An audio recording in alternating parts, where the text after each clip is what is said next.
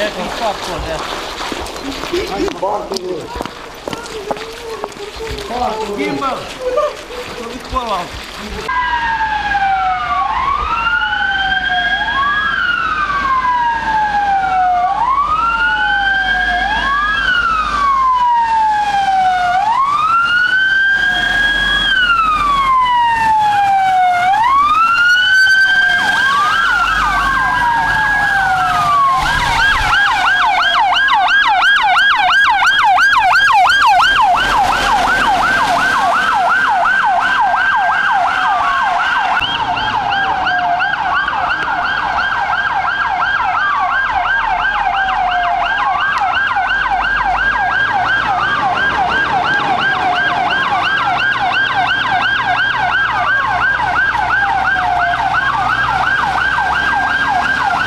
Da, la mansardă cu victimă, uh, a doua cameră pe partea stângă, el lucra acolo. Foarte bine.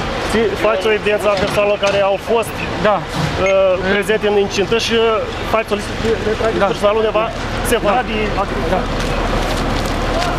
sardă, la toți de fum. el conduce. Intervenim, am intervenit cu două linii, furtunul tip C, o echipaj de pompieri din serviciu voluntar. Posibil să avem victime, posibil. O victimă este salvată undeva sus la mansardă.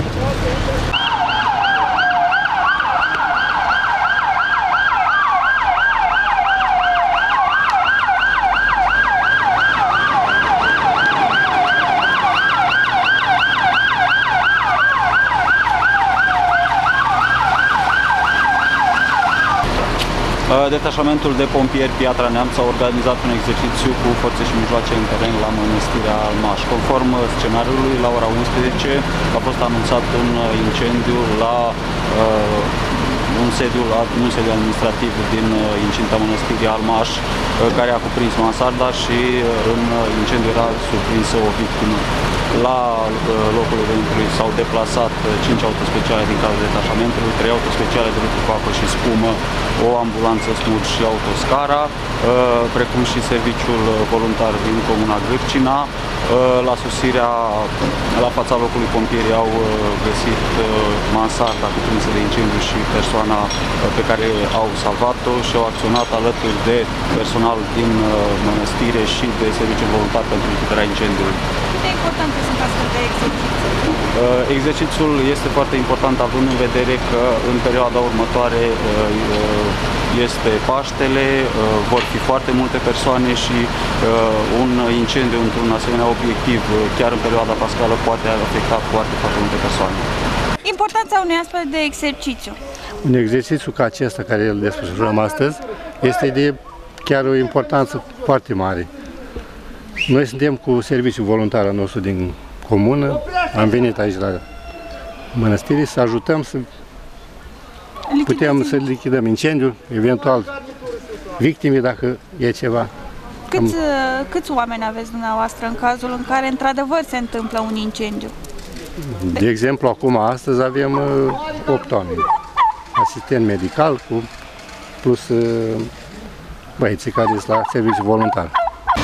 Un exercițiu pentru stingerea unui incendiu, cât de important este ca oamenii de aici să știe exact ce să facă în cazul unui incident real.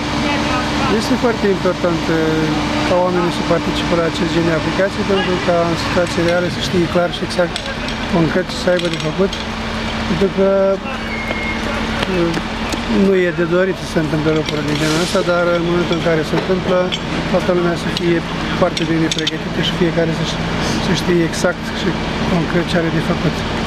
Sunteți mulțumit?